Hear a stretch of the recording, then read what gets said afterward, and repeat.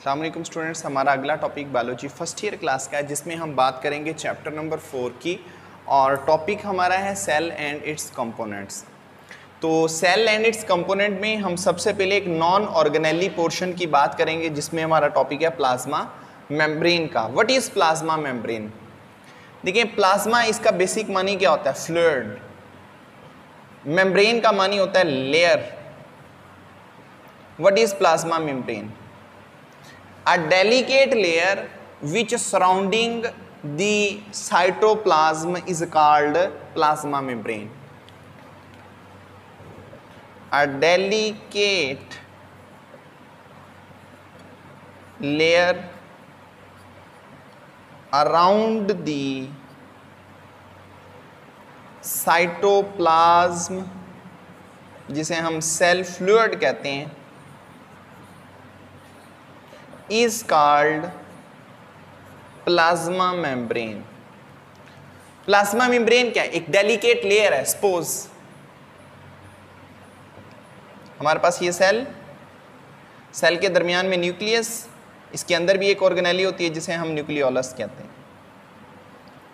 यहाँ पर बेसिकली एक फ्लूइड होता है जिसका नाम है साइटोप्लाज्म यहाँ पर साइटोप्लाज्म है। ये इसकी आउटर लेयर है। जिसका नाम है प्लाज्मा मेम्ब्रेन। अंदर न्यूक्लियर मेम्ब्रेन,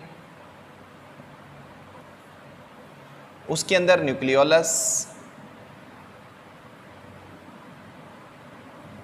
और न्यूक्लियोप्लाज्म। तो असल में प्लाज्मा मेम्ब्रेन एक ऐसी लेयर है जो साइटोप्लाज्म के अराउंड मौजूद होती है, ये वो प्लाज्मा मेम्ब्रेन है। प्लाज्मा मेम्ब्रेन सभी में मौजूद होती है, ठीक है? आप बात कर लें प्लांट की एनिमल सेल्स की फंजाई सेल्स की, या फिर आप बैक्टीरिया सेल्स की तो उन सभी के बाहर जो मौजूद होती हैं, हम उसे प्लाज्मा मेम्ब्रेन कहते हैं।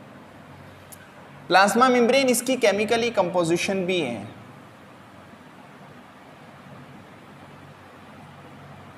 प्लाज्मा मेम्ब्रेन केमिकली तौर पर जिन चीज़ों पे कंसिस्ट कर रही है, वो प्रोटीन्स हैं लिपिड्स कार्बोहाइड्रेट्स और इसके बाद कोलेस्ट्रॉल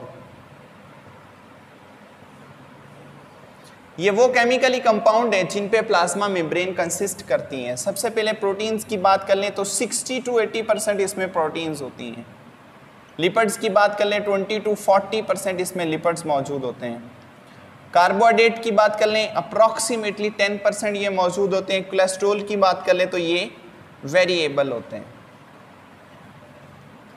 ये वो चीज़ें हैं केमिकली तौर पर जो बेसिकली तौर पर क्या करती हैं कि प्लाज्मा मेम्ब्रेन की जो केमिस्ट्री है या केमिकल है केमिकली नेचर है, उसको मेंटेन किया हुआ है। प्लाज्मा मेम्ब्रेन इसके मुतलिक कुछ मॉडल्स भी हम रीड आउट करते हैं तो प्लाज्मा मेम्ब्रेन इसके मुतलिक असल में टू मॉडल्स हैं, जिन्हें बहुत ज़्यादा बायोलॉजी में डिस्कस किया जाता है। एक जो मॉडल है, उसे नाम दिया जाता है यूनिट मेम्ब्रेन मॉडल का। और एक जो मॉडल है, उसे कहा जाता है फ्लूड मोजेक मॉडल। ये दो मॉडल हैं। एक यूनिट मेम्ब्रेन मॉडल जो रिजेक्ट हो चुका था, एक फ्लूड मोजिक मॉडल है, जो आज भी एक्सेप्टेबल है। यूनिट मेम्ब्रेन मॉडल ये इंट्रोड्यूस करवाया 1935 में डेनियल कोशलैंड ने।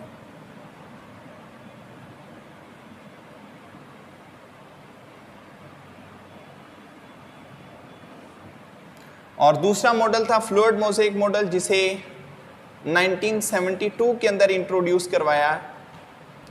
गार्थ निकोलसन ने।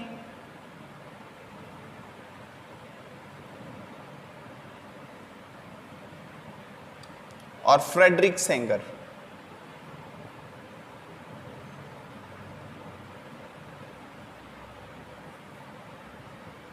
ये दो पर्सन थे, एक गार्थ निकोलसन और दूसरा फ्रेडरिक सेंगर।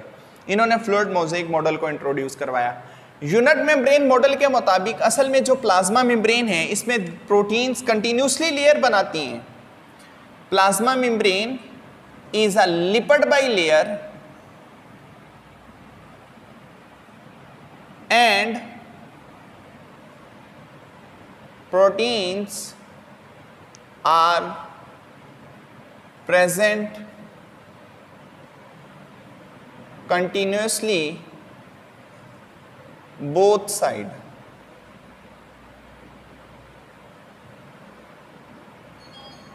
unit membrane के मुताबिक जो असल में प्लाज्मा मेम्ब्रेन है, उसके दोनों अतराफ में प्रोटीन्स की एक कंटिन्यूसली एक प्रॉपर लेयर होती है। तो जबकि जो फ्लूड मोजेक मॉडल है, उसने कहा कि असल में ऐसा नहीं होता। फ्लूड मोजेक मॉडल के मुताबिक जो प्रोटीन्स हैं, वो इम्बेडेड होती हैं यहाँ। दंसी हुई होती हैं। किसके अंदर? लिपट बाई लेयर में। किस तरह से? सपोज़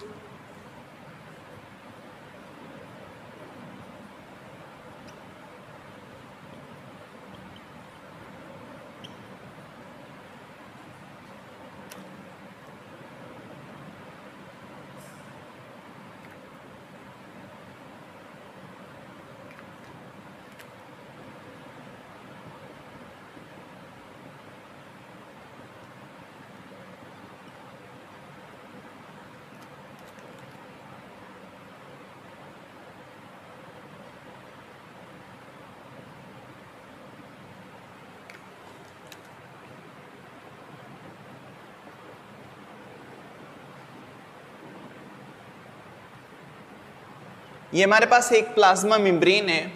हमने उसका एंटीरियर क्रॉस सेक्शन लिया हुआ है। अब इसमें ये क्या होता है? ये भी फॉस्फोलिपिड की लेयर है, ये भी फॉस्फोलिपिड की लेयर है। तो हम इसे क्या कह देते हैं? लिपड बाई लेयर ये लिपड बाई लेयर है। ये मेम्ब्रेन का आउटसाइड है। आउटसाइड पोर्शन है। और ये इसका इनसाइड पोर्शन है।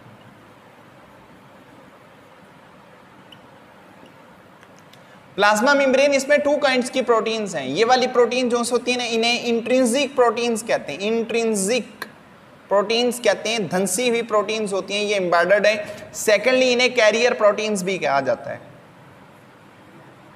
ये दो तरह की प्रोटीन्स एक ये होगी इंट्रिंसिक प्रोटीन्स और दूसरी ये वाली होती है, इन्हें पेरिफरल प्रोटीन्स कहते हैं।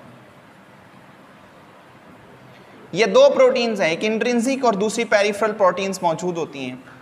लेकिन जो यूनिट मेम्ब्रेन मॉडल था, उसमें इस फोस्फोलिपिड की जो लेयर्स हैं, उन पर कंटिन्यूसली तौर पर प्रोटीन्स की लेयर बनी हुई होती हैं, जबकि इसके अंदर ऐसा नहीं होता।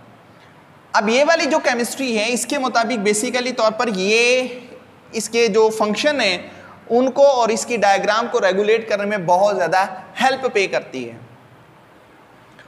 अब जो प्लाज्मा मेम्ब्रेन है, इसका बेसिकली जो फ़ंक्शन होता है, वो फ़ंक्शन के हैं?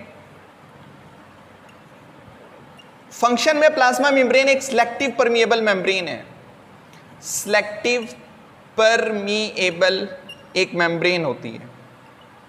सिलेक्टिव परमिएबल मेम्ब्रेन होने की वजह से सेल के आउटसाइड और सेल के इनसाइड जो मटेरियल होते हैं, उसकी जो कंसंट्रेशन होती है, उसे मेंटेन किया जाता है। यानी कि सेल का जो इंटरनल इन्वायरमेंट है, उसकी जो कंसंट्रेशन है, उसको मेंटेन करने में जो हेल्प पे करती है, वो प्लाज्मा मेम्ब्रेन है, जिसकी वजह से हम प्लाज्मा मेम्ब्रेन को सिलेक्टिव परमिएबल मेम्ब्रेन का नाम देते हैं। सेकेंडली मटेरियल सेल के अंदर आते हैं, एंडोसाइटोसिस करते हैं, या मटेरियल सेल के बाहर जाता है, जिसे एक्जोसाइटोसिस कहते हैं। ये अमल भी किसके ज़रिए से होता है? प्लाज्मा मेम्ब्रेन के ज़रिए से। इसके बाद मटेरियल किस ट्रांसपोर्टेशन होती है? मटेरियल ट्रांसपोर्टेशन है। वो भी प्लाज्मा मेम्ब्रेन के थ्रू होती हैं।